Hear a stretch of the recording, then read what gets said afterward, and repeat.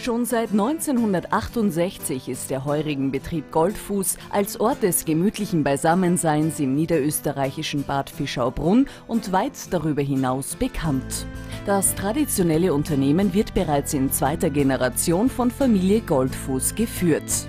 Die Küche bietet neben klassischer Hausmannskost vor allem im Sommer ihre Besonderheiten. So locken beispielsweise Spare Ribs viele Genießer aus den umliegenden Bezirken an. Dadurch hat sich die hohe Qualität der Küche herumgesprochen.